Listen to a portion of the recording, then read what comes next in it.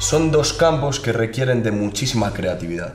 Para mí, no hay mayor creativo que el que se dedica a la investigación científica. Tú imagínate la capacidad de abstracción que debes de tener pues para eh, Heisenberg, para desarrollar la teoría de la incertidumbre o la teoría de cuerdas. O sea, tienes que sacar de la nada una teoría científica que se corresponda con unos desarrollos con el lenguaje matemático y que se corrobore mediante unas eh, ecuaciones, es algo tremendamente difícil, tremendamente abstracto y todo nace de la creatividad humana, ¿no?